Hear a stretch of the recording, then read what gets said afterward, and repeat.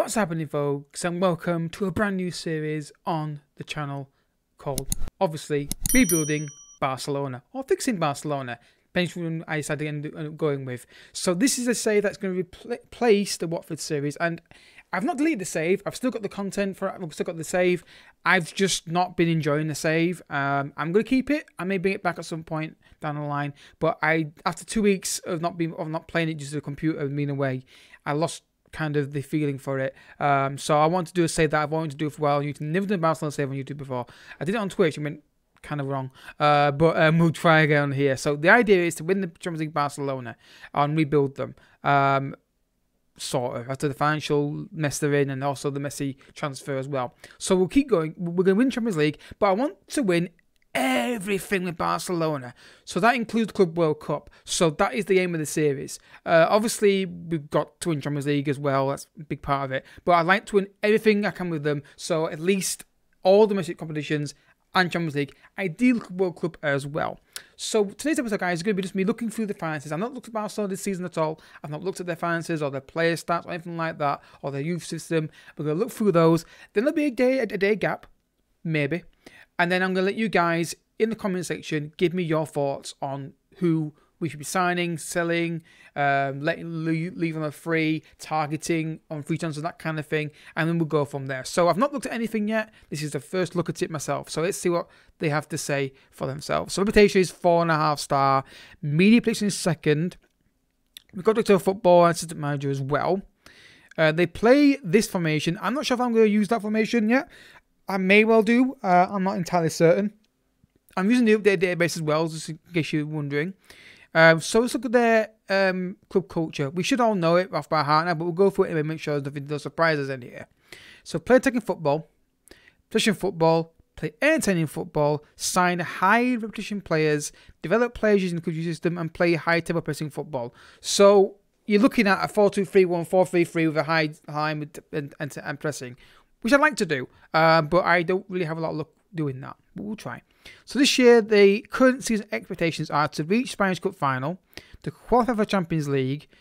They don't, don't, don't care about Super Cup, Champions League reach semi-final minimum, and work to, towards becoming the most reputable team in Europe.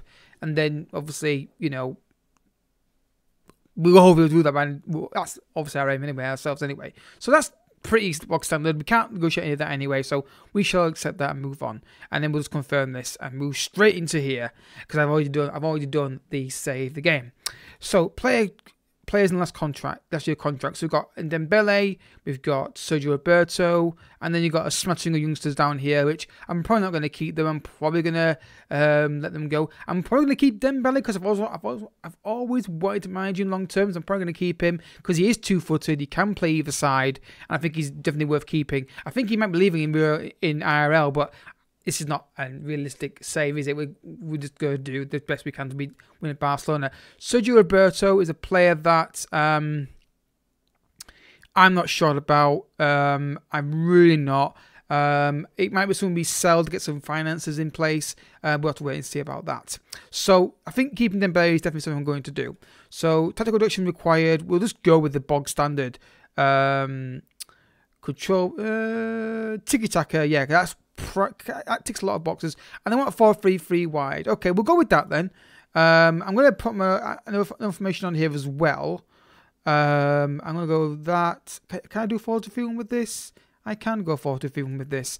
So I can. Those are my those two tactics I like to use. I I have considered using Fight Back before, but I don't know much about it, so stick with what you know uh, and go from there. So I'm not that this is going to work or not, but we'll see. I'll play around with it, but that's the basic information I'm, I'm probably going to use, one of the two, and we'll just have a look at things and you can always give me your thoughts, guys, in the comment section as well. So, um, we always saw this already, so we'll accept that already because we can't do anything else with that. Uh, piece meditation, all that kind of stuff is big bog standard stuff at this point. Um, when we'll have to wait and see. The question is, what are the finances like? Because this could be bad. Zero money on transfers, twenty million pound in the red, three million wage budget. We are not going to be able to sign players, are we, this summer? We may have to sell some players to try and get some money in. Uh, what is the projection for our bank for for the um, Okay, balance is going to be pretty okay. We're going to get a massive increase. Oh, we've got some new sponsorship deals coming in. Yeah, 90 million per season comes in. Um, yeah, so we've got good sponsorship deals. There's a problem. The problem is that they'll, they'll, they'll do sponsorship deals, billion in debt, um, which is not great.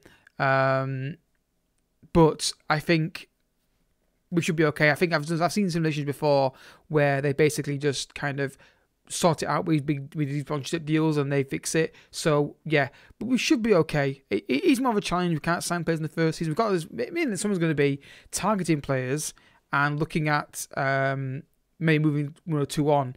We don't think we're going to use and maybe promote some youth talent because, like we say, this is what they want us to do. They want us to use players using the youth system. So it might be we sell a player in midfield and bring forward one from that youth system to try and replace them. So we get them off the wage budget. I don't really like them, but we'll move them on, and then we increase their um, exposure in the first team.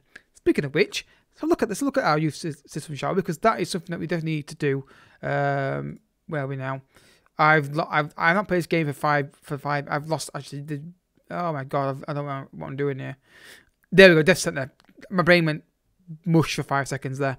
So we've got Sergiño Dest. Why is he in the reserves? I have the team. I have no clue. So we're promoting to the senior squad. Yes. Uh, we've got Ilas Akamovic, who's a left winger. Again, he's got good map pace. Looks kind of interesting. So I think he could be promoted to, to, promoted to the first team as well. We've got Nico as a defensive midfielder.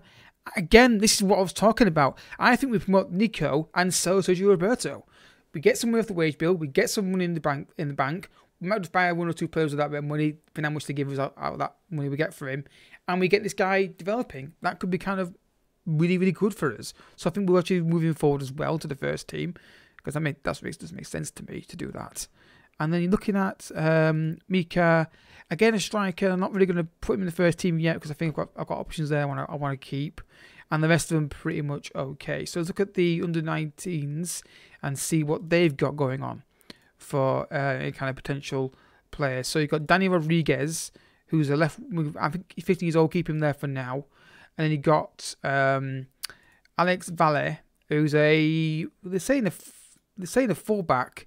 Again, probably could go out on loan, maybe get some 15 football. So we've got some good players um, in here. Looking at um, Nono, okay. Again, now, now you're getting to points now. where It's getting a bit not as not great. So yeah, we've got some good players from the um, main kind of B team to get in the first team, and then it's a something matter of anyone a missed out guy I think would be cool to bring in. We'll go from there. So look at the squad here, and we're just gonna go position wise and get rid of anybody who's actually not here because I just don't want to confuse the situation with these guys um, because this is going to make it awkward to have them there. So get them out the 13 squad there. So as you can see here, we've we've got Adama Traore on loan.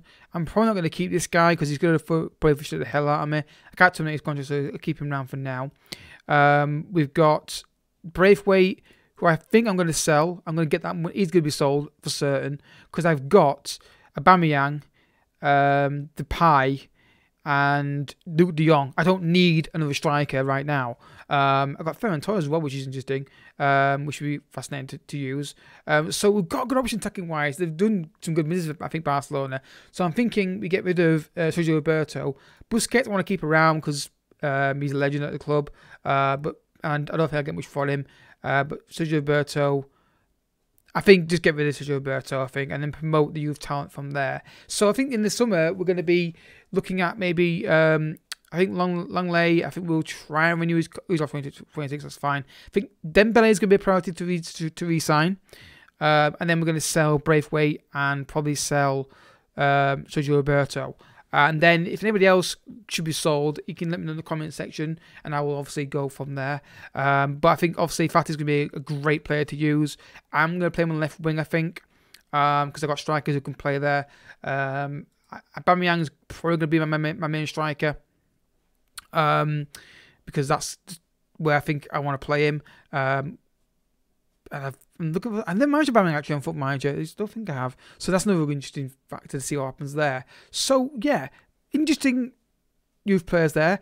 I'm not going to go on too long, guys, because it's the introduction episode. So you can give me your thoughts, guys, on players to target.